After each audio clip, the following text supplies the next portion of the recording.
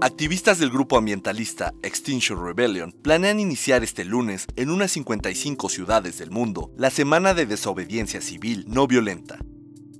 El movimiento ambiental internacional espera una participación masiva en las calles de Madrid, París, Londres, Berlín, Sydney y de otras ciudades fuera de Europa como Nueva York, Toronto y Buenos Aires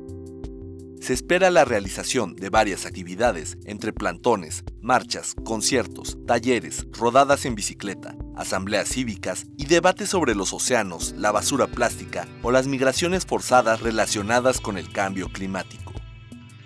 El movimiento ecologista, que surgió en Reino Unido en abril de 2018 y ya cuenta con presencia en 72 países, ha señalado en repetidas ocasiones que entre sus demandas figura que los gobiernos confiesen la verdad sobre la situación ecológica y que actúen por la biodiversidad.